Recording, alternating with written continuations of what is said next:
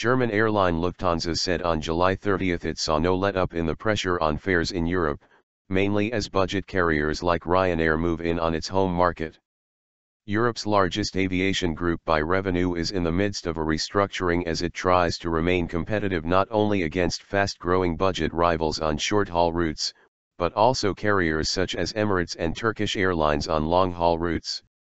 Ryanair, Europe's largest airline by passenger numbers, said earlier this week it plans to slash winter fares as it bids to carry an extra 12 million passengers this year. Lufthansa has already seen a fall over the last 18 months in overall yields, an indicator of average fares achieved, including a 5.7% drop in the second quarter alone. In Europe yields fell 6.1% in the quarter.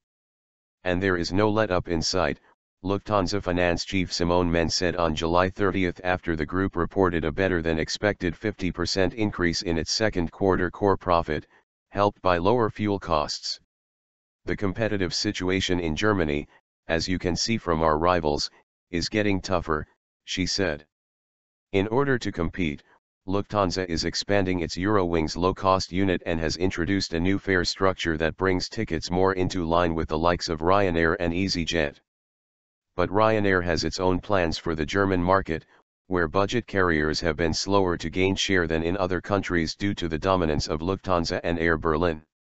Ryanair, which has previously said it wants to increase its market share to over 15% from the 4% it has now, will open a sixth German base in Berlin in September and start a four times a day service between Berlin and Cologne, one of Lufthansa's major domestic routes, from this winter.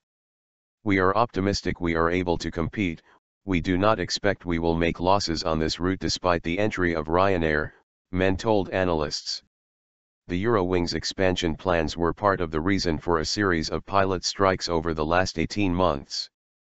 But the VC Pilots Union last week proposed conducting a market study and then basing a pay deal for Eurowings pilots on salaries at EasyJet.